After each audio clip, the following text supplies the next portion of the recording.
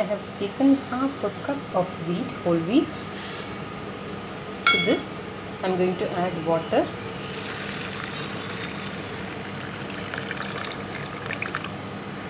And let this soak for 6 hours.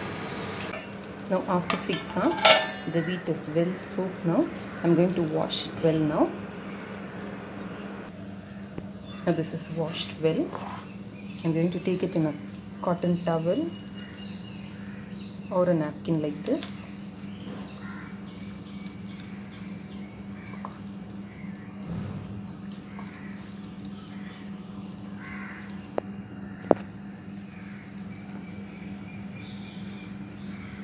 going to bring all the corners together. Make it like a pouch. And I'm going to hang it for sprouting. I have attached it to the vessel stand.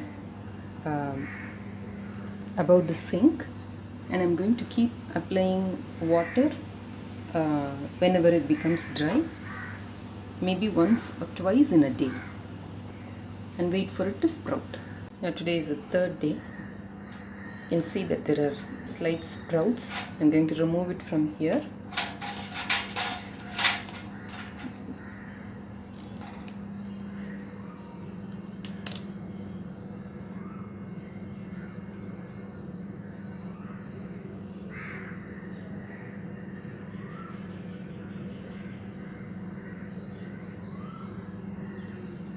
you can see that the wheat has sprouted well.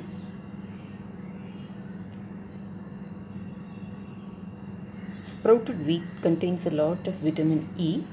I'm going to wash it well now once again. It's a slightly sticky now to touch so I'm going to wash it well.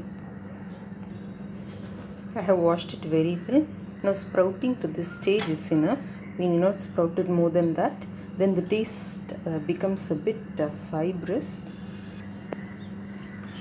I'm going to add the required salt and one green chili. Now this green chili is not very hot so I'm adding one. You please adjust according to your spice level. I'm going to grind this into a coarse paste. I've ground this into a coarse paste I'm going to take it in the mixing bowl I have added half a cup of water to grind this. Now to this batter, I am adding a small piece of ginger, finely chopped,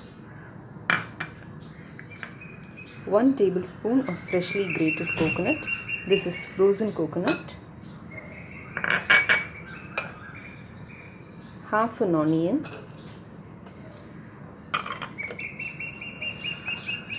A few curry leaves.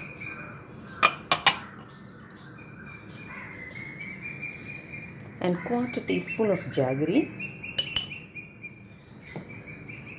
Mix everything well. Now the batter is mixed and ready. This should be the consistency of the batter.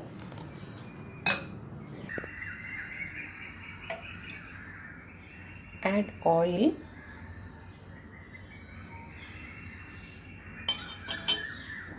and once the pan is hot we can start making these crepes or adais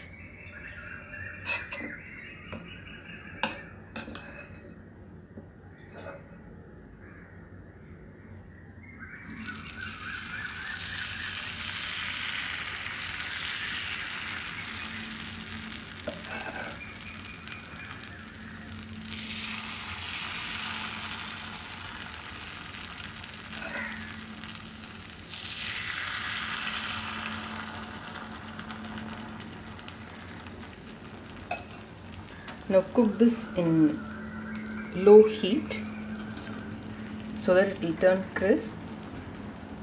Drizzle oil around. Oil or ghee, anything you want you can use.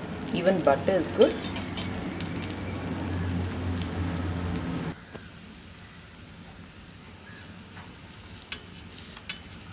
Once a side is cooked, we can flip to the other side.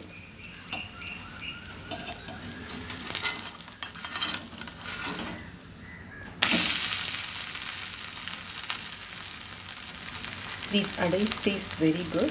In fact you don't need any side dish at all for this. If you want you can have a little curd. That is enough. Is a very healthy adai you can give it to growing children. It's rich in vitamin e very good for your skin. Vitamin e makes your skin glow and be supple and healthy. So sprouted wheat is a good source of vitamin E which we can get naturally. Now let this cook this side too.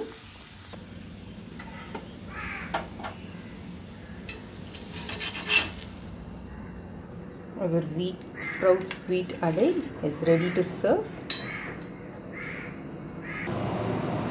Here I've kept jaggery, curd and a little butter. All these three go very well with this adai.